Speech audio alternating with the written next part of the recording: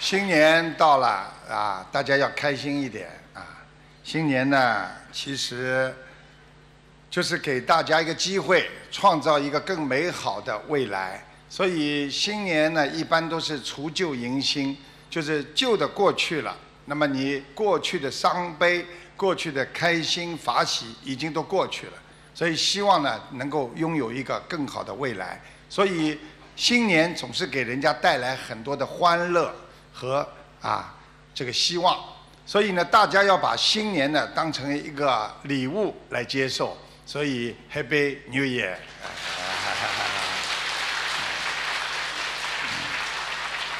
其实每一个人的命运啊，都是掌握在自己的手中。你努力了啊，你一定会成功。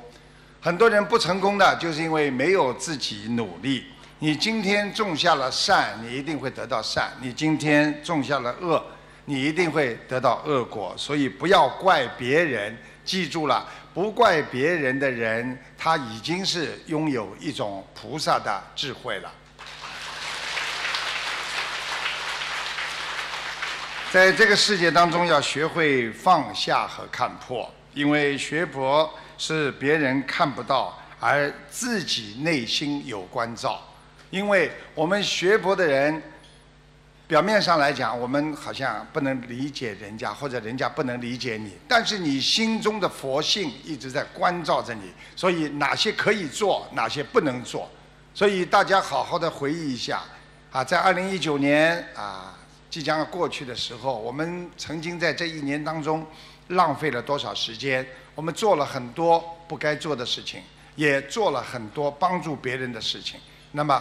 在二零二零年，希望把不该做的事情呢啊忘记，不要再去做。那么拥有更好的未来，去做更好的为大众服务的事情。所以，当你们在二零二零年新年的时候，越是好的时候，越要低头。做人要学会低调，要学会谦卑。要学会把苦留给自己，把快乐留给别人。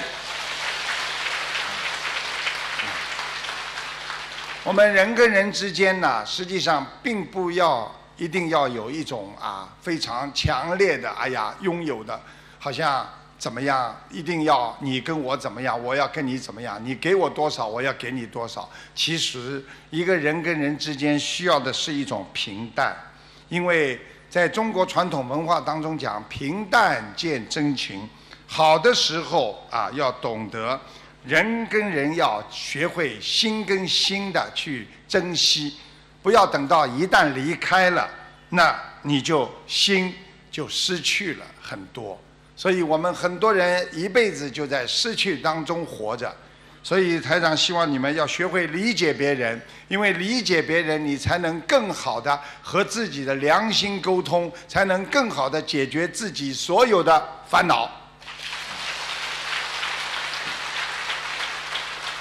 所以要常常的记住别人对你的好，因为别人对你的好会让你很快乐，你会觉得我承认别人的优点，别人对你好的时候，你可以承认。承认别人对你的优点，你会觉得让自己觉得很温暖，因为当你知道别人对你很好的时候，你的心会觉得非常的温暖。如果你一个人总是盯住别人的缺点的话，你会让自己心中充满着烦恼，因为看到别人的缺点，你就会难过、伤心，觉得他为什么要这样。所以要学会少看别人的缺点，心中才会越来越光明。另外，台长希望大家啊，在新的一年当中，千万不要在发脾气或者不开心的时候决定什么事情，因为任何的决定都会造成你的失误。所以，人发脾气的时候一定要学会忍耐。有的时候，一句好话可以温暖人的一生，一句刻薄的话就会让你记恨人家一辈子。所以，有的时候家庭的悲剧和跟孩子们的悲剧，和在社会上跟朋友的悲剧，就是因为你没有忍耐，你没有讲很多温暖别人的话。希望大家在新的一年当中多说好话，多做一些感动别人的事情，多说一些感动别人的话。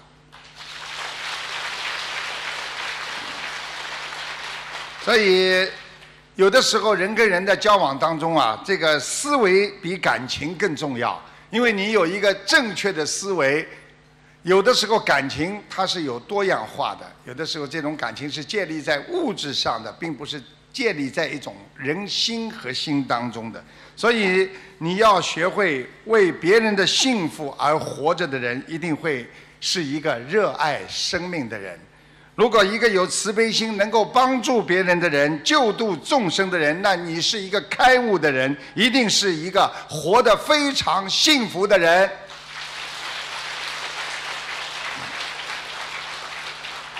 有的时候，心就像一面镜子，照见人间的恶和看到的都是啊啊恶。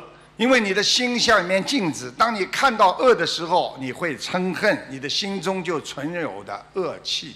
如果你的心装有着善良，你就会照见五蕴皆空，心中就会拥有一切善良的东西。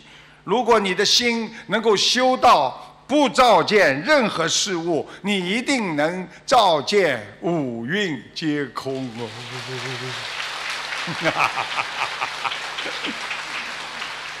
啊，所以希望你们在新的一年当中不要做愚痴的人。记住了，愚痴的人有一个特点，就是开始就是听不进别人的劝了。一个人如果不能听进别人的劝，那么失败的开始就是因为你什么事情都自认为是对的。烦恼的开始就是认为凡事自己都应该拥有一份。记住了，什么事情要懂得舍，能够舍的人，他才能够得到啊。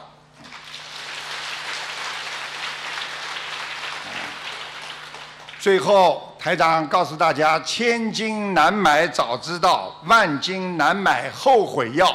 所以希望大家在二零二零年不要做让自己后悔的事情。学佛人要学会接受现实，从别人身上要看到自己的缺点和不足，知因懂果，懂得学菩萨为因，不学众生为果呀。希望大家继续学佛，要爱国爱民、遵纪守法。学佛呢，要学会热爱自己的国家，勤修六度的般若蜜，为国家、为社会做出贡献。